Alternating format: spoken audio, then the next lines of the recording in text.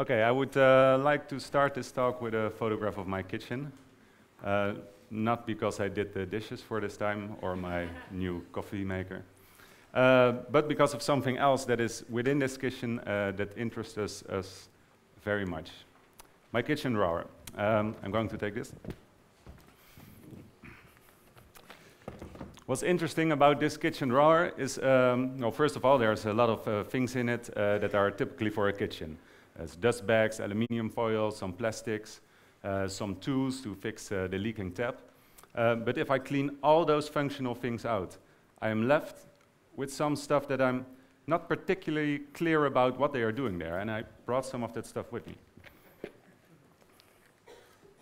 I have a paper boat. I don't know. I have um, a plastic bag with uh, six screws in it, different types. They're probably there for a reason. They're probably part of something, but I don't know what. Um, clothing bags. I have a pasta. and here I have a paper clip. I don't know what they're doing there. Uh, but it are these items that interested us very much. And when I say us, I have to introduce a few people. Uh, for you, uh, on the left of me is Marcia Nolte, and on the right is Stijn. They are my two colleagues. And the three of us have the trio, we make carpets. Um, okay, what do we do? We take these products, um, we take them in big amounts, and we assemble them into patterns. And from these patterns, we assemble loose-lying art installations that resemble a carpet. Okay, so a pasta, for instance. We make the patterns, we create a carpet, loose-lying out of pasta. So uh, why this carpet, you may ask yourself? Well, when we started with this project, um, we were wondering, like, um, we should put it in a shape that really resembles the place where all these objects come from, the house. So that's the reason why we thought of a carpet. Um, a paper clip for this time. It makes a carpet out of paper clips. What's interesting about these products is that they're so useless most of the time that they are at the, are at the bottom of the consumer society. People don't buy a paperclip because they think it's a beautiful paperclip or because they think it's golden or silver. They buy it to use, and even in the case of paperclips, most of the time you buy a hundred, and how many do you use? It's two, three, you use them one time. Where does the rest go? Probably in your kitchen drawer. Paper boat, there it is. Um, when making these carpets, we, most of the time we find ourselves with, uh, in this case, uh, thousands of uh, blank papers, or in the pasta case, hundreds of kilos of pasta. Um, and we find ourselves, the three of us, handling these things all the time, paper by paper, folding paper boat by paper boat. And this actually makes us look at a totally different way at these paper boats.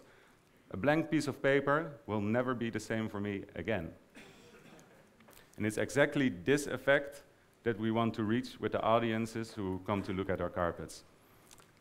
Best told maybe in a story that happened with the match carpet is that in this exhibition, a big man came walking in, uh, big arms, hands. He had actually a scar on his face, but was not really the artistic type or the sensitive type.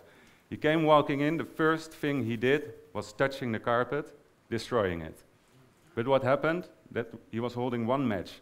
And he was actually looking at this match as if he never saw a match again. And probably he handled hundreds in his life. Bricks.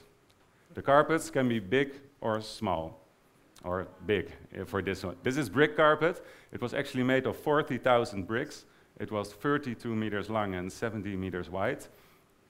Um, this actually was the sixth carpet we made, and it launched us into a whole new period. This got so much attention that uh, a lot of people asked us to do uh, exhibitions. Uh, right now, two years after brick carpet, we made 33 uh, different carpets out of different materials. Um, and then, of course, the question is, well, what are you going to do with all these uh, things? Why are you doing this? Um, we would like to fantasize about the world 300 years from now where everything is green and environmental friendly and everybody is healthy and there's no trash anymore that people can litter. Uh, sorry for that.